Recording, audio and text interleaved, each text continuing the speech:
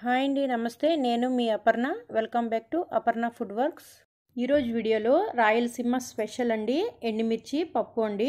దీన్ని ఎలా చేయాలో నేను చూపిస్తాను. రండి వీడియోలోకి వెళ్ళిపోదాం.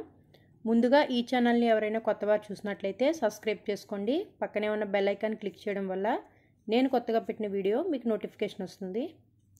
స్టవ్ వెలిగించుకొని కడాయి పెట్టుకోవాలి. అందులో చిన్న గరిటతో ఆయిల్ వేసుకోవాలండి. ఒక కప్పు కందిపప్పు వేసుకొని వేపుకోవాలి. ఇందులో ఒక ఉల్లిపాయని చిన్న ముక్కలుగా కోసి వేసుకుందామండి.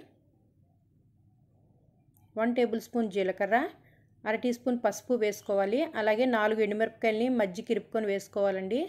చిన్న నిమ్మ సైజ్ అంతా చింతపండు వేసుకుందాం.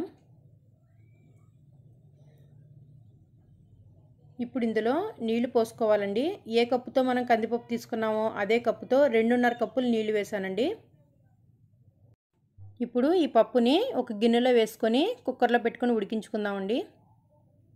మూత పెట్టేసుకొని ఉడికించుకోవాలి. ఐదు విజిల్స్ వచ్చే వరకు ఉడికించాలి. ఇలా చల్లారిన తర్వాత పప్పు గరిటెతో మెదుపుకోవాలండి.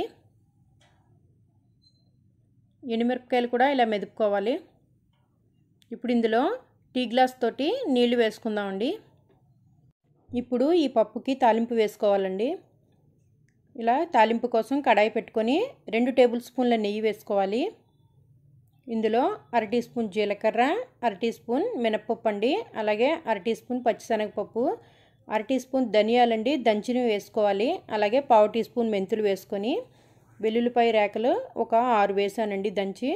అలాగే కొద్దిగా కరివేపాకు వేసుకొని వేపుకుందాం.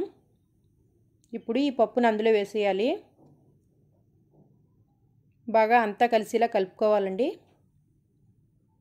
ఇందులో రుచికి సరిపడా సాల్ట్ వేసుకుందాం.